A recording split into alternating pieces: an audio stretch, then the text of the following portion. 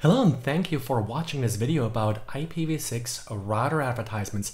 My name is Johannes Ullrich and I put together this uh, video because uh, during my IPv6 Security Essentials class, assigning IPv6 address is always a big topic and router advertisements is probably one of the simplest way to accomplish that. If you would like to learn more about IPv6, we also have an IPv6 summit coming up on July the 6th in Washington, D.C. To learn more about that, uh, see isc.sans.edu slash IPv6.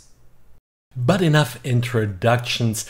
I assume that you're all familiar with the basic look and feel of IPv6 addresses. IPv6 addresses span a total of 128 bits or 16 bytes. However, one important concept is that these addresses need to be understood in two parts. The first half of the address is usually referred to as the network part. It identifies the network and is the only part needed to route the packet.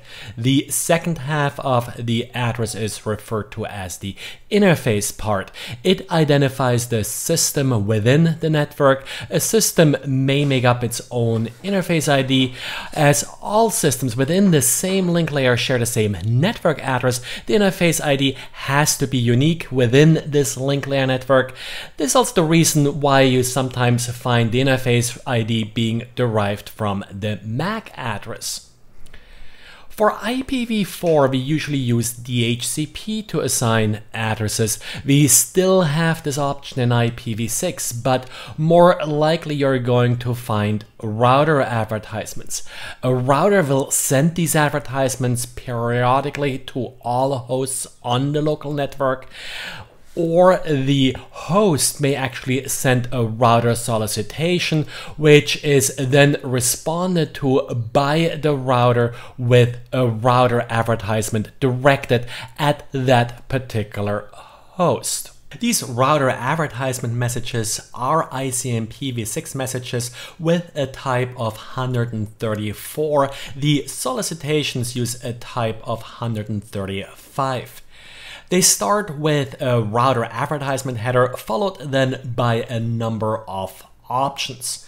So what you'll see here in the next couple slides is sort of a simplified TCP dump output from a router advertisement packet.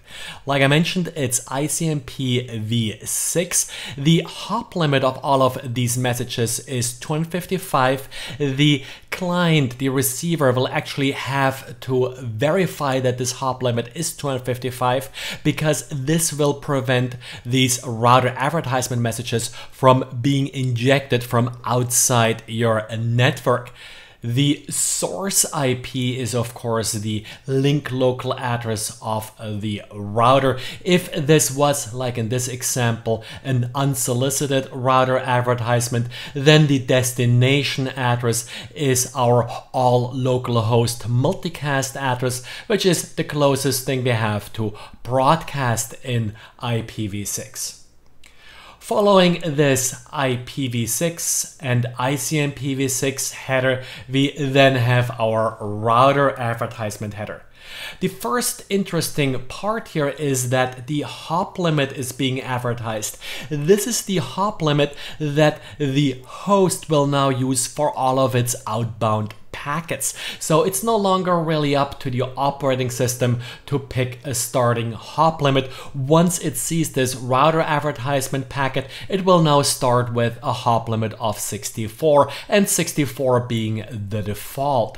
Next we have flags and a router priority. We'll come back to these flags, but if we have multiple routers, then of course uh, the priority could define which router will be preferred.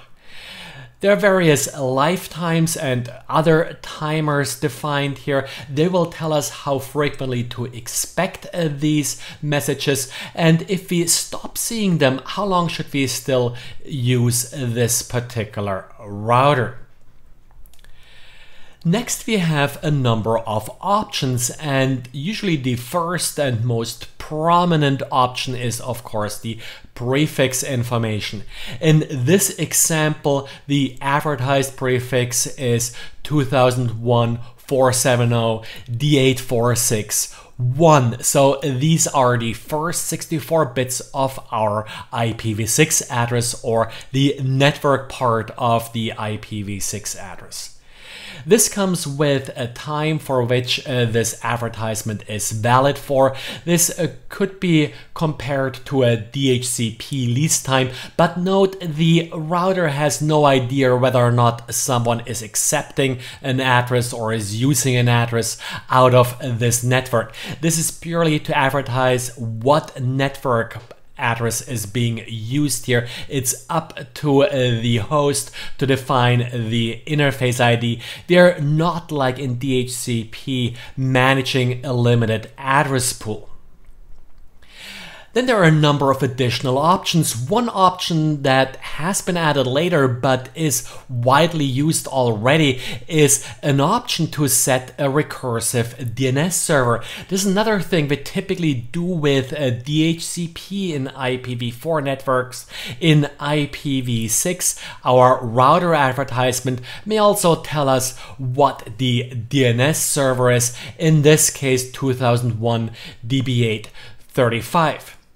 Other options include the MTU to be used for this network. Here we advertise an MTU of 1280. That may be a little bit small, but uh, this is the smallest possible MTU for IPv6. If we use an IPv an MTU of 1280, then we will never really see any fragmentation of our traffic.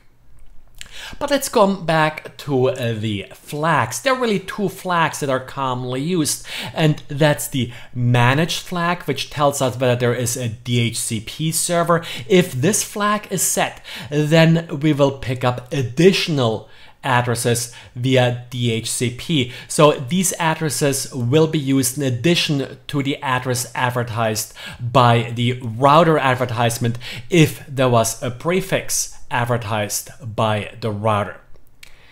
The other flag is, well, the other configuration flag. It tells us whether there are any other parameters we should consult DHCP for, for example, DNS servers, NTP servers, and the like.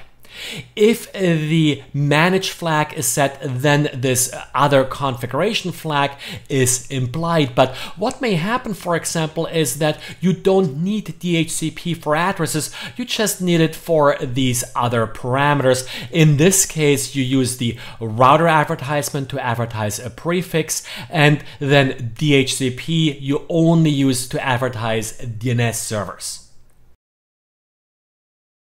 So a quick summary here. Router advertisements allow for simple stateless auto configuration. We no longer need a DHCP server in IPv6.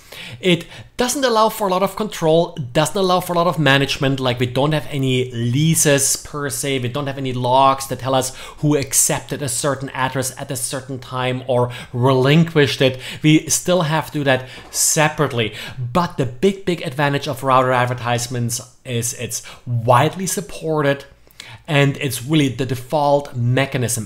DHCP v6 is not supported on all IPv6 devices. Here are a couple of references, mostly RFCs here. One thing I want to point out is RFC 4861, the current neighbor discovery RFC, does cover router advertisements. It does replace 2461. Kind of interesting how the numbering worked out in this case. If you have any further questions, comments, uh, please contact me at jullrich at sans.edu or again for more details about the IPv6 class or the summit isc.sans.edu slash IPv6 and my Twitter handle is J-U-H-U-L-L-R-I-C-H. Thank you.